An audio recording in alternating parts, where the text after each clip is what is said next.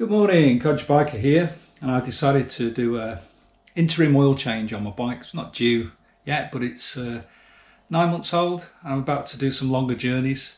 It's supposed to be a lightweight and local bike, but for this bike, I'm going to do a few hundred miles next week. So I think an interim oil change will do, and uh, here's all my gear.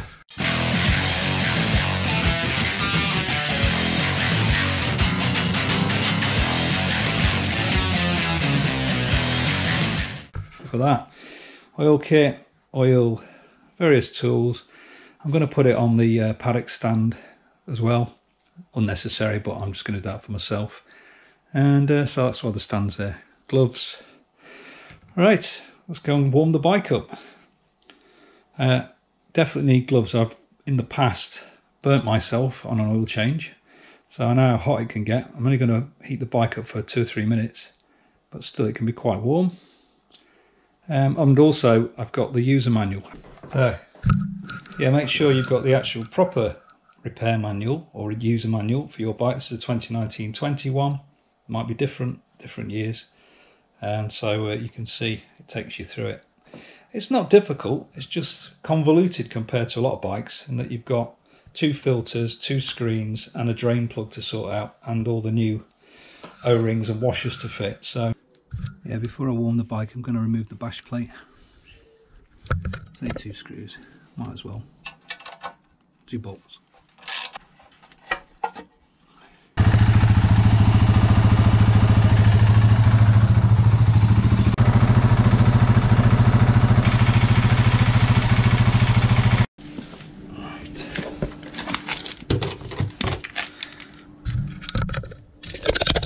Do not underestimate these you need to be properly on them, don't force them, they round off very easily.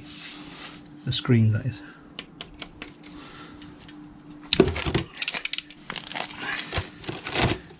This can be hot.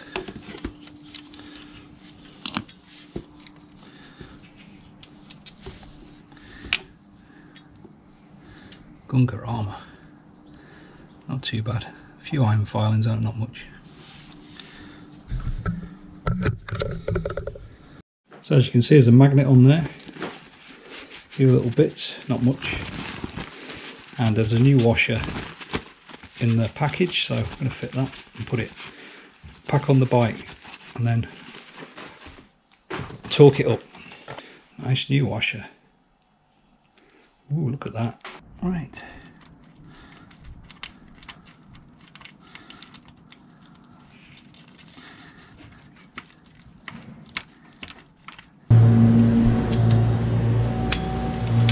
Took that to 20 newton meters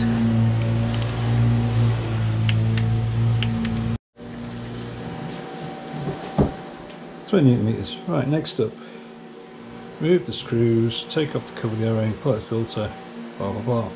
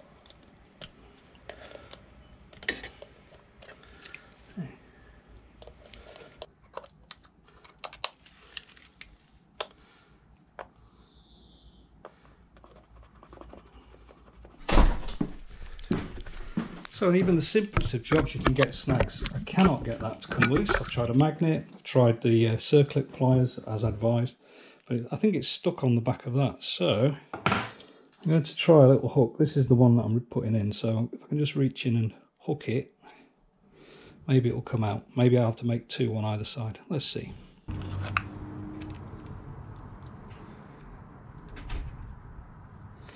At least it's out. I'm quickly going to replace that.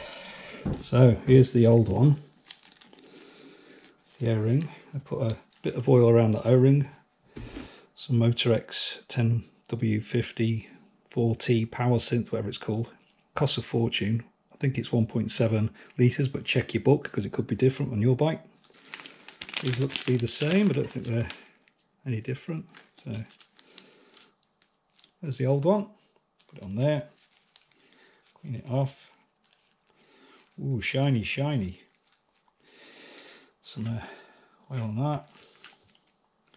Put it back on. I'm going to get it back on the bike with the filter in as soon as possible.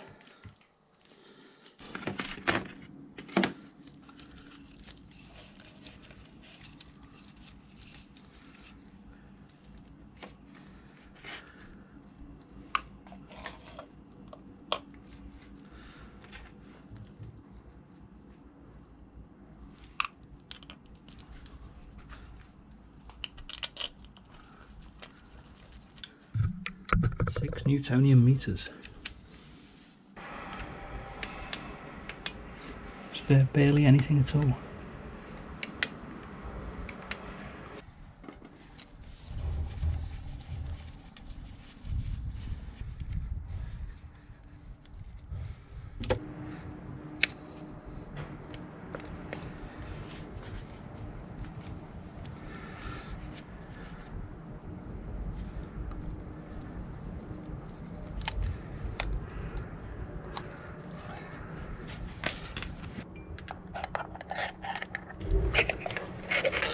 Whew. They're a tighter than you expect. Right, well it's out. It's the main thing.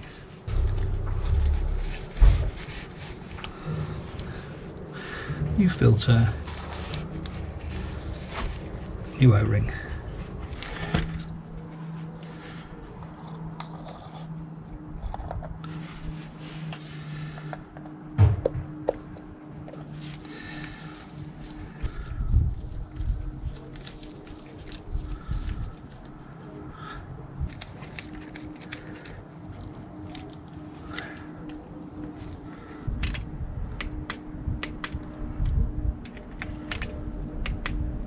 There, that one first. Remove the screw plug with the oil screen and the O-rings.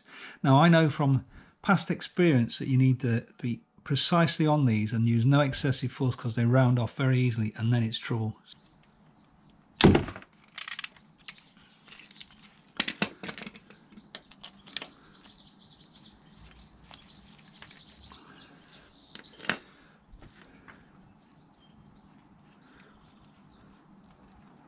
Please be kind.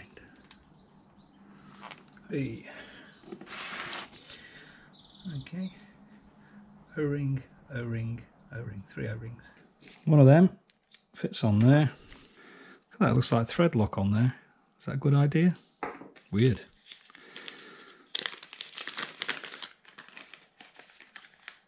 Okay. Bit of oil on the O-ring onto there bit of oil on there. On you go. Bit of oil on there. Why not?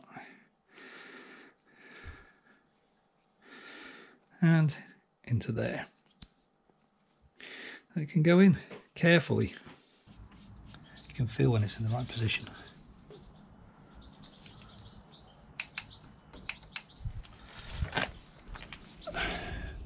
Please come undone. Yes. Oh yes, thank you. Right, I'll go and get the other one ready as I did before, bring it back. No force required, ever.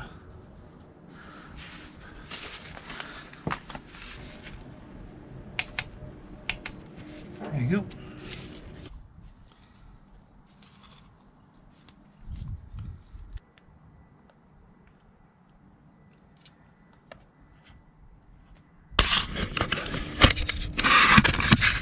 See some oil in there look. It's about level the bike at the moment so that's a good indication. Right but I'll start it up let it fill the filters and things and then top up as necessary. Thank you. Codger Biker is out